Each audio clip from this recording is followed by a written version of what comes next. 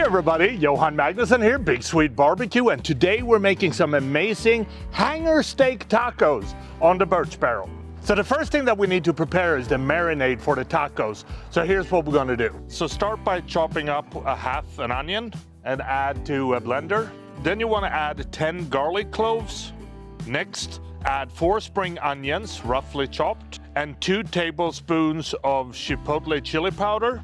You also want to add two jalapenos and half a bunch of coriander. Next, we're going to zest and juice three limes and also zest and juice one orange. Then it's time to add one tablespoon of sea salt, one tablespoon of sugar, and one tablespoon of black pepper. We also want to add some olive oil, about two tablespoons, and then two cups of an imperial stout beer. Then you want to blitz it to a paste. The marinade is now ready, so it's time to start preparing and trimming the hanger steaks. And we do that by removing the line of gristle in between the meatier parts. So basically, we're cutting the hanger steak into two parts. Then you want to trim the silver skin and some of the extra fat.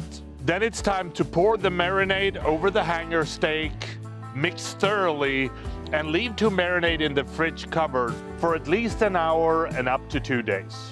So the hanger steak has now been marinated for 24 hours, so they're ready. So now it's time to make the morita and sesame seed salsa.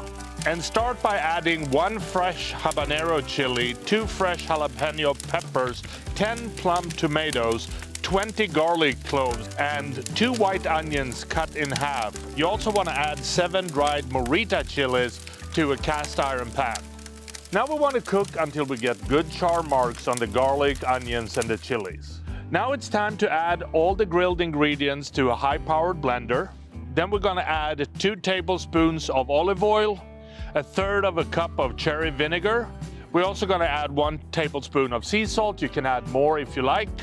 And finally, three tablespoons of sesame seeds lightly toasted.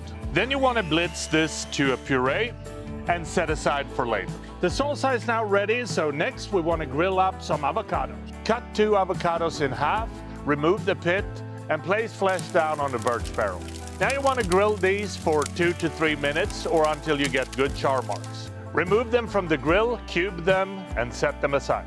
Now you want to grill the hanger steak, so make sure that the Burch Barrel is smoking hot. Add the steak and cook until it's charred on the outside and medium rare on the inside for about three minutes on each side. I like to turn them quite frequently to make sure that they don't get burnt. If you have some thicker pieces, you can also raise the lid for a while and make sure that they cook a little bit further away from the fire. When they're ready, take the steaks off the grill and leave them to rest for at least three minutes. Then it's time to build the tacos. Start by placing some baby arugulas on some warmed up flour tortillas. Then we're gonna add the morita and sesame salsa. Next we wanna place plenty of the grilled avocado on the tortilla.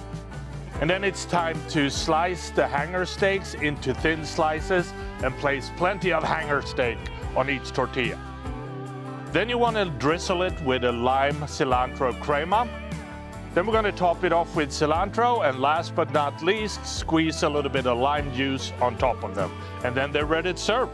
And that is how I make my grilled hanger steak taco on the Burch Barrel. And I think the only thing left to do is to try this and see what it tastes like. And it looks amazing. So here we go. Mm, come on. Steak cooked to perfection. The salsa brings a nice heat. It's just a very, very good and balanced tacos and extremely tasty. So I hope you try it at home. Happy grilling. Mmm.